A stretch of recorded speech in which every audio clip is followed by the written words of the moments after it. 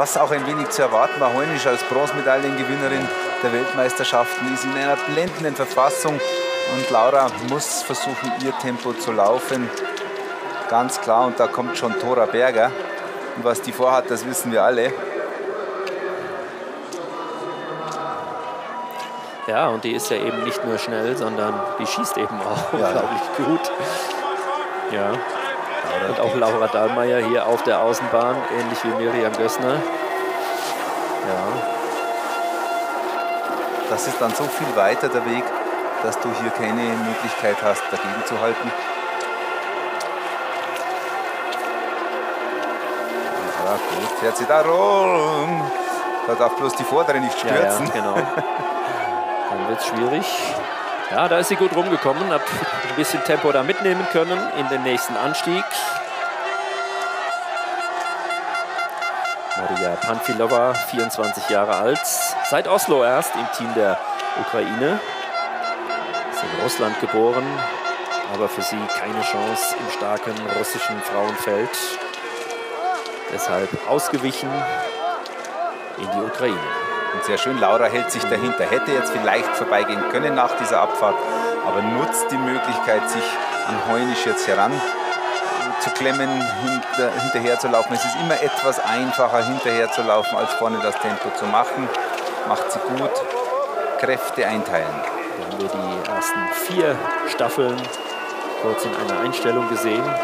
Bisschen schwierig einzuschätzen, wie genau die Entfernungen sind. Dafür gibt es die Uhr und die Zeitnahmen in hoher Frequenz kommt Tora Berger daher.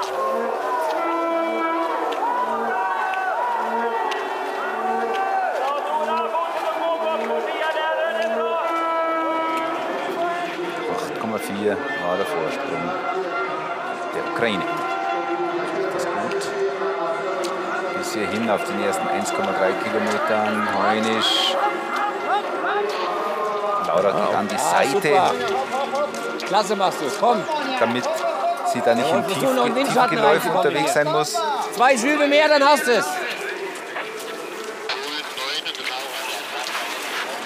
Ja, zweimal ja schon siebte, eben hier im Sprint gestern. Und auch schon in Oslo.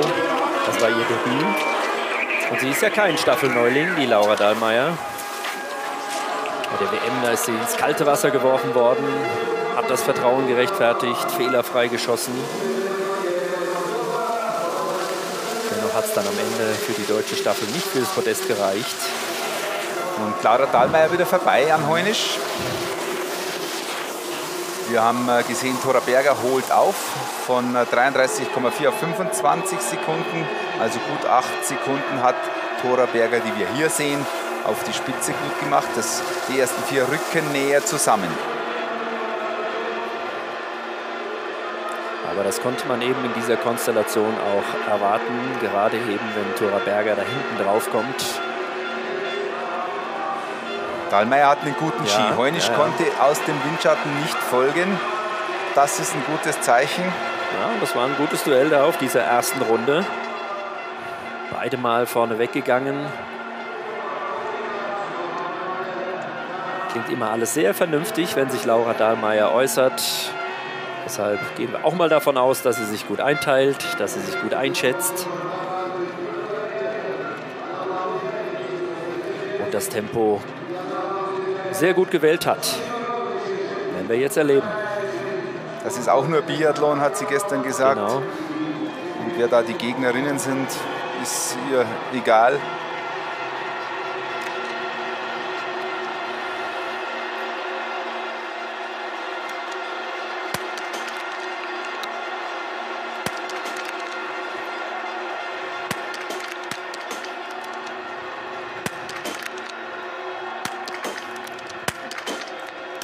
Sehr stark. Maria Panfilova. Auch Laura Dahlmeier fährt der Treffer. Und jetzt auch den fünften. Ganz stark. Setzt an, wo sie gestern aufgehört hat. Richtig gut. Auch da hat sie alles getroffen. Aber auch die Polin und auch Tora Berger lassen hier nichts anbrennen. Alle Scheiben getroffen. Keiner hat einen Nachlader gebraucht.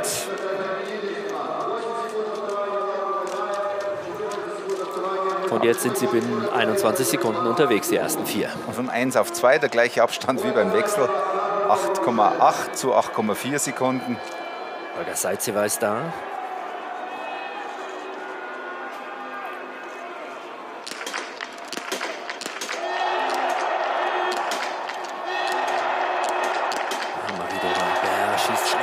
sicher. Ja, stark die Französin, ganz bewusst, sehr viel Risiko gegangen. Auch Olga Seizeva wolle natürlich sich hier ranschieben. Wenn es überhaupt noch eine Chance gibt, dann so. Die Uhr läuft ohne Gnade. Minute Rückstand für Frankreich. Die beiden jetzt gemeinsam auf der Runde, Marie-Dorin Aber und Olga Seizeva. Und Tschechien mit Barbora Tomesova lange ja in Führung gelegen mit den zwei stärksten Läuferinnen vorneweg. Wird jetzt ein wenig nach hinten durchgereicht. Trefferbild Dahlmeier, etwas tief der erste.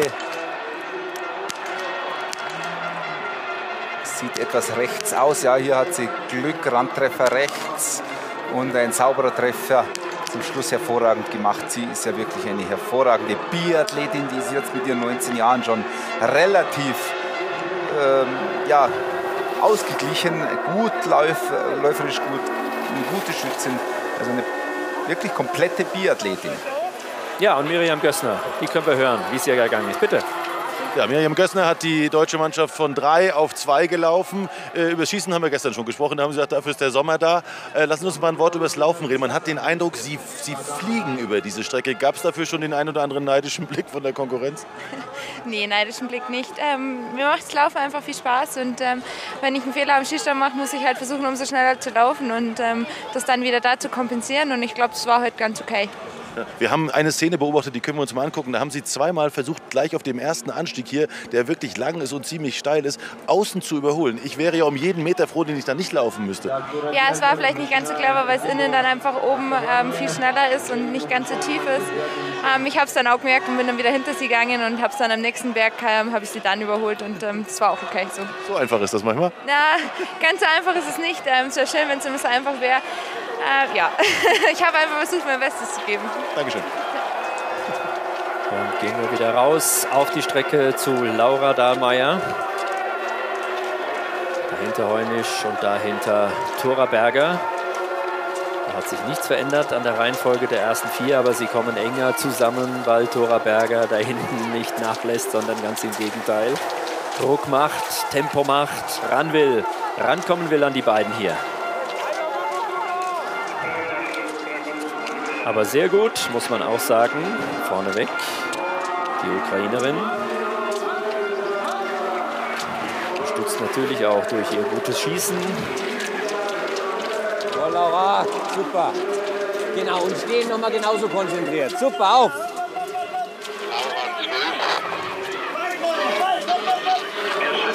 Ja, Berger kommt ein wenig näher heran. Zwei Sekunden. Ne? Ja, ja, das ist nicht viel.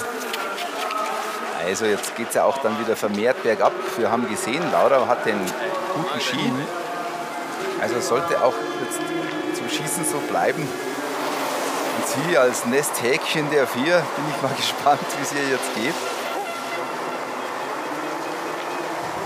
Hat ja ein sehr erfolgreiches Jahr.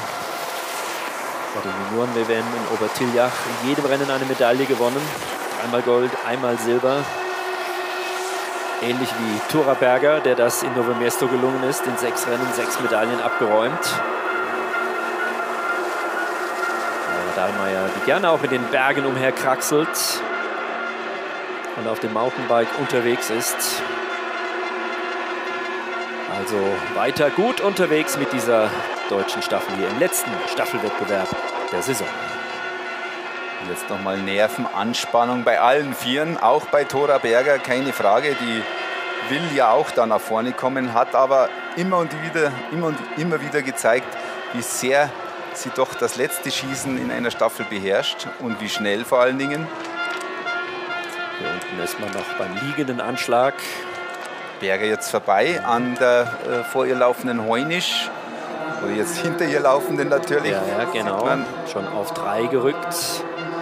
Also, alles ist bereitet für das letzte Schießen. Wer geht hier als Erster raus? Wer springt aufs Podest?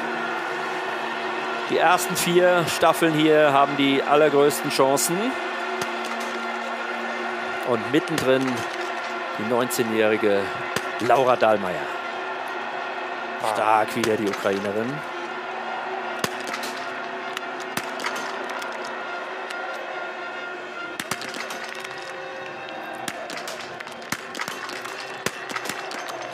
Ja, Ukraine bleibt vorne. Eine noch, komm, komm, komm. Jawohl, ja, und Laura Dahlmeier. geht mit. Und die müssen nachladen, Norwegen und Polen. Ganz stark, Laura Dahlmeier, wie gestern, alles getroffen. Auch sie, ähnlich wie Benedikt Doll am Vormittag, rechtfertigt dieses Vertrauen. Und jetzt bin ich sehr gespannt auf dieses Duell da vorne. Und natürlich auf das, was Thora Berger hier noch reißt. Ist jetzt auch unterwegs. Sie hat so eilig schnell in die Schlaufen, schon im Gas geben. Frankreich bzw. Polen. Polen ist fertig mit äh, zwei Nachladern, geht jetzt raus. auf der vierten Position. 30,8, die sind Ja, weg. ja, die sind weg. Keine Chance auf Berger. Das haben wir in der Runde zuvor schon gesehen. Also die Podestplätze vorne scheinen zunächst mal klar. Nur auf, wer auf welcher Stufe steht, das ist noch nicht ganz sicher.